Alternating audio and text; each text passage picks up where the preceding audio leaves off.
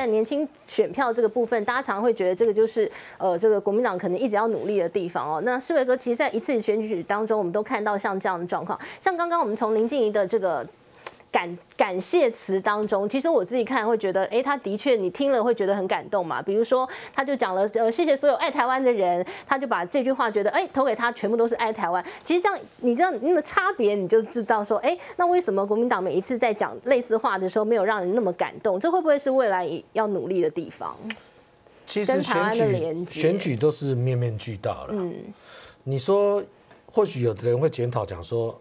啊！你看到中正万华，你那波政党对决，嗯，你那国民党中央脑出来划的时阵，你政党对决，哎，五万四千八百一十三票，然后就跨过门槛五万八千多票，对啊，差四千嘛，对不对？但是你有没有去想，如果政党对决一下去的时候，绿营的也会出来啊，你不是只有蓝营的票会出来，哦，绿的也会出来，那如果都出来的时候，那这一个你看到公投。可是就没有努力，你有努力了，说不定还是输嘛。但是努力过了，所以说只有这个就是结果论。嗯，这里是怎么样子去思考？但是你讲说要把政党的色彩给淡化掉吗？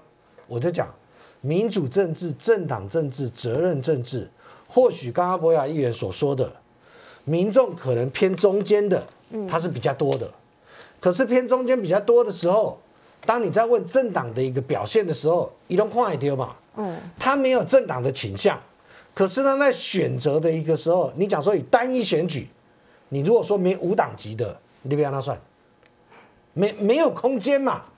你说选立委无党籍的，除非你是这个原住民，或者是讲说你是真的像陈柏伟讲说，二零二零年民进党礼让给他，他在那一区他有机会。如果说是沙卡都，你如果说蓝绿两大政党都有出来的时候，你敢有机会？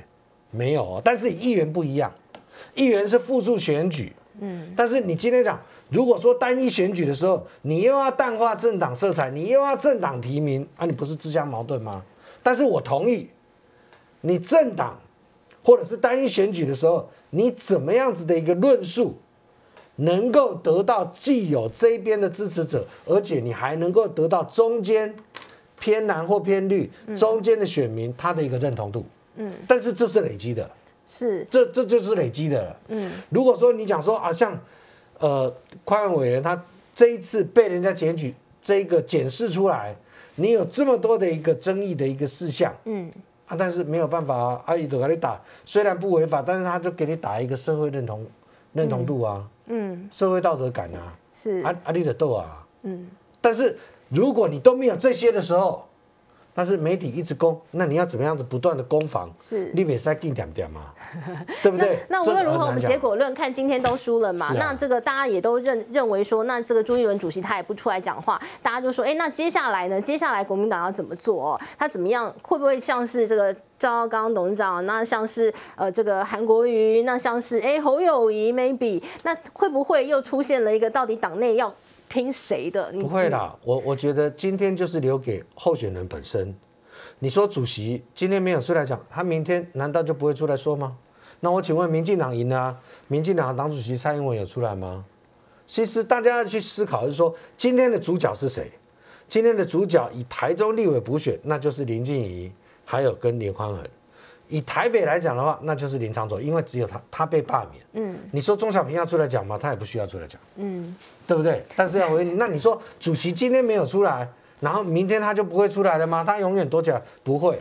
今天还是把主角，你就是留给这个严宽恒跟这个林静怡，因为他们毕竟是候选人。那你听他讲怎么样子？明天党的这一个部分，党主席他一定会碰到媒这个媒体朋友的一个堵麦嘛。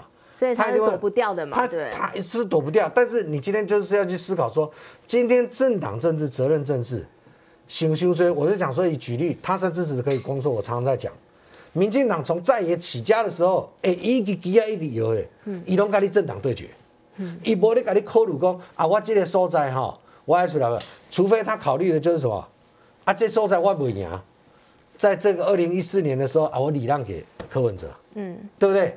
然后。二零二零年的时候啊，这个台中第二选区，我免牙啊，我礼让给基金。可是这就选战灵活嘛？不，这个这就是你彼此再也合作，是再也合作。但是你看到今天他的一个选举，包括了公投，包括了这个补选，包括了罢免，他全部都跟你对决。嗯，那你今天国民党，你如果再都不不对决，都没声量的时候，那你会不会被其他的政党对给串起来？